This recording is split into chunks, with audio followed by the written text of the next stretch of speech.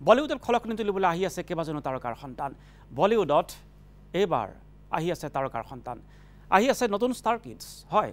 বলিউডৰ জনপ্ৰিয় তাৰকাৰ সতী সন্ততিয়ে এইবাৰ চমক দিব মায়ানগৰীত। শ্বাহৰুখ খানৰ কন্যা চুহানা খানে বলিউডত ভৰি দিব বুলি এতিয়া সৰব চৰ্চা আৰম্ভ হৈছে। ইতিমধ্যে চুহানাই নিউয়ৰ্কত বিশ বোলছবিৰ বিশেষ কৰ্চো সম্পন্ন কৰিছে। ইফালে সঞ্জয় কাপুৰ আৰু মাহিব কাপুৰৰ কন্যা ছানায়া কাপুৰেও বলিউডত আত্মপ্ৰকাশ কৰাটো প্ৰায় খাটাং হৈছে। কৰণ জোহৰৰ ছবিত দেখা যাব সঞ্জয় কাপুৰৰ কন্যাক। ইফালে প্ৰয়াত অভিনেতা ইৰফান খানৰ পুত্ৰ বাবিল খানে অনুষ্কা শৰ্মাৰ প্ৰডাকশ্যনত কাম কৰি আছে। কালা শীৰ্ষক এক ৱেব ছিৰিজত অভিনয় কৰি আছে বাবিল খানে।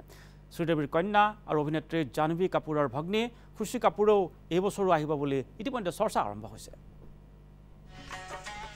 দুহেজাৰ বাইছত বলিউডত আত্মপ্ৰকাশ কৰিবৰ বাবে সাজু হৈছে কেইবাগৰাকীও তাৰকা সন্তান। শ্বাহৰুখ খানৰ কন্যাৰ পৰা ছাৰা আলী খানৰ ভাতৃ তথা ছেফ আলী খানৰ পুত্ৰলৈ। পাঁচগৰাকীকৈ তাৰকা সন্তান সাজু হৈছে নিজকে ৰূপালী পৰ্দাৰ তাৰকা সজাবলৈ সুহানা খান ছ'চিয়েল মিডিয়াত সাংঘাতিক চৰ্চিত আৰু আকৰ্ষণৰ কেন্দ্ৰবিন্দু শ্বাহৰুখ কন্যা সুহানা খান। বলিউডত খোজ দিবৰ বাবে সুহানাই ইতিমধ্যে নিউয়ৰ্কত সম্পূৰ্ণ কৰিছে তেওঁৰ অভিনয়ৰ পাঠ্যক্ৰম। পিতৃ শ্বাহৰুখ খানেও কৈছিল সুহানাই চলচ্চিত্ৰ জগতত কেতিয়া খোজ দিব সেয়া সুহানাই নিজেই সিদ্ধান্ত ল'ব। শ্বানায়া কাপুৰ অনিল কাপুৰৰ ভাতৃ তথা অভিনেতা সঞ্জয় কাপুৰ আৰু মাহিব কাপুৰৰ কন্যা শ্বানায়া ইতিমধ্যে সাজু হৈছে বলিউডত সবল খোজ দিবলৈ।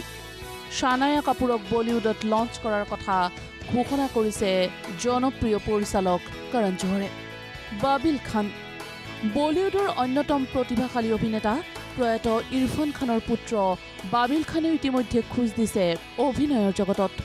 অনুষ্কা শৰ্মাৰ প্ৰযোজিত নেটফ্লিক্সৰ চিনেমা কালাত অভিনয় কৰিছে বাবিল খানে যি চলচ্চিত্ৰৰ পৰিচালনা সুজিত চিৰকাৰৰ।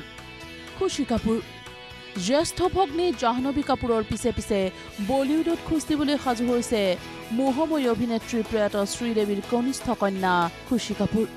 ইতিমধ্যে কেইবাখনো আগশাৰীৰ মেগাজিনত ফটোশ্বুটেৰে সকলোৰে দৃষ্টি আকৰ্ষণ কৰা খুশী কাপুৰক দুহেজাৰ বাইছত দেখা যাব ৰূপালী পৰ্দাত ইব্ৰাহিম আলী খান। ছাৰা আলী খানৰ পিছত এতিয়া ভাতৃ ইব্ৰাহিম আলী খান সাজু হৈছে নিজৰ অভিনয়ৰ চমক দিবলৈ। ৰণবীৰ সিং আৰু আলিয়া ভট্টৰ চিনেমা ৰকী আৰু ৰাণী কি প্ৰেম কাহানীত সহযোগী পৰিচালক হিচাপে কাম কৰিছিল ইব্ৰাহিম খানে। আৰু দুহেজাৰ বাইছ চনৰ শেষৰ ফালে ৰূপালী পৰ্দাৰ তাৰকা হ'বলৈ সাজু হৈছে ছেইফ আলী খানৰ পুত্ৰ তথা ছাৰা আলী খানৰ ভাতৃ ইব্ৰাহিম আলী খান। আৰু এনেদৰে এতিয়া এই পাঁচগৰাকী তাৰকা সন্তান সাজু হৈছে দুহেজাৰ বাইছত নিজকে ৰূপালী পৰ্দাৰ তাৰকা সজাবলৈ। Entertainment desk news live